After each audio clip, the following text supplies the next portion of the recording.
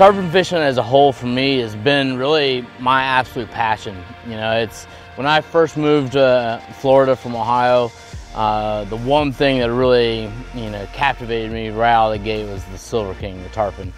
Fish on, fish on, fish on. Yeah, baby. Now we're tarpon fishing. now we're tarpon fishing.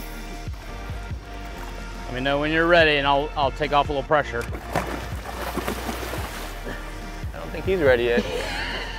to know you can be completely bowed up on a tarpon and look over and see the skyline of Miami is still today a little mind-boggling. I mean, honestly, that's like the perfect size for me. that This is one healthy fish, man. Yeah.